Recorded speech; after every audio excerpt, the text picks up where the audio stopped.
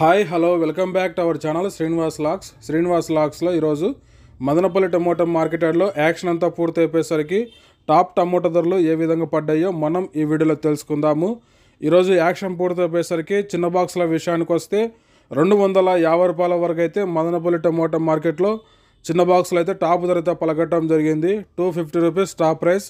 అలాగే ఇంకా పెద్ద బాక్సుల విషయానికి వస్తే ముప్పై కేజీల బాక్సు.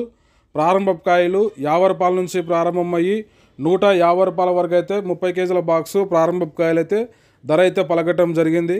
అలాగే ఇంకా సెకండ్ గ్రేడ్ కాయల విషయానికి వస్తే నూట యాభై రూపాయల నుంచి ప్రారంభమై రెండు వందల యాభై మూడు వందల యాభై రూపాయల వరకు అయితే సెకండ్ గ్రేడ్ కాయలు అయితే మదనపల్లి టమోటా మార్కెట్లో ధర అయితే పలకటం జరిగింది.